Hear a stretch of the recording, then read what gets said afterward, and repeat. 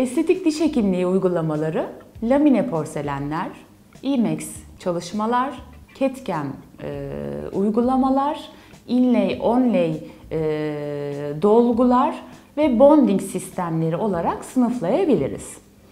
E, yüksek teknolojide e, estetik görüşün e, bilim ve sanatın birleştiği ve yük- bu yüksek teknolojiyle e, üretilen malzemelerin kaynaşarak e, yapıldığı e, son derece e, güzel sonuçlar çıkartabiliyor.